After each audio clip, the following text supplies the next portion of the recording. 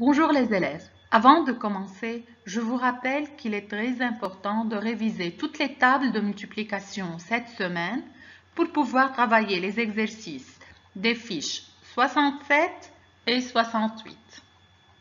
Premièrement, je voudrais qu'on fasse attention au point suivant.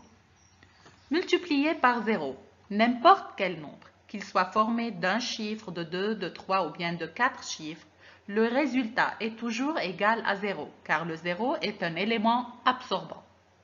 Multiplier par 1. Le 1 est un élément neutre, il ne change rien. C'est égal au même nombre. Par exemple, 2623 fois 1 égale à 2623. Multiplier par deux dizaines, trois dizaines, cinq dizaines, etc.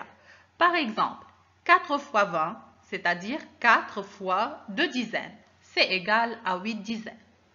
Si vous préférez une méthode plus simplifiée, vous faites semblant de ne pas voir le zéro. Exemple, 3 fois 60. Vous considérez que vous multipliez par 3 fois 6 égale à 18. Mais vous n'oubliez pas de mettre le zéro à droite de 18 qui est égal, c'est-à-dire à 180. Pour compléter un tableau à double entrée formé horizontalement de trois lignes et verticalement de quatre colonnes, faisons le produit suivant.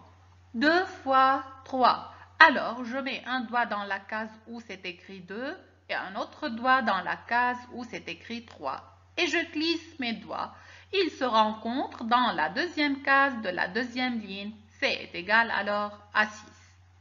Encore un exemple. 5 fois 4.